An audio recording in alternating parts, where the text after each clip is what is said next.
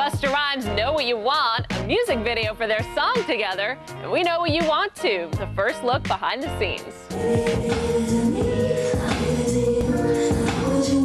The singer joined Busta on the set for their third collaboration together, but Mariah had to convince the rapper to record the song.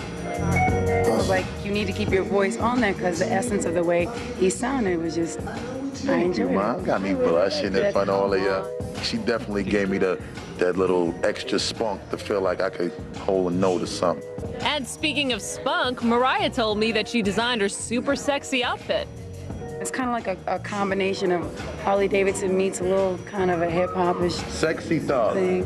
Right. Sexy thug. Thug princess. No We're trying question. to give him a little bit of that, but I'm here with Busta, so I had to, you know, Yeah. try and represent properly. This speaks for itself. Automatic princess. Pow. Mommy, listen. Director Chris Robinson, who's also directed Snoop, says the video's vibe was inspired by Mariah. We created the set uh, to what she was going to wear.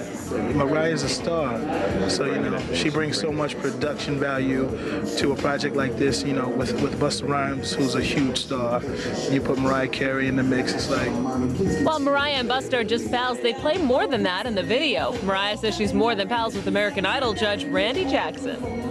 Randy Jackson is my musical director, and now that he's a superstar Yeah, right? of American Idol, Word like. I, I feel like I'm, I'm a groupie hanging out with him.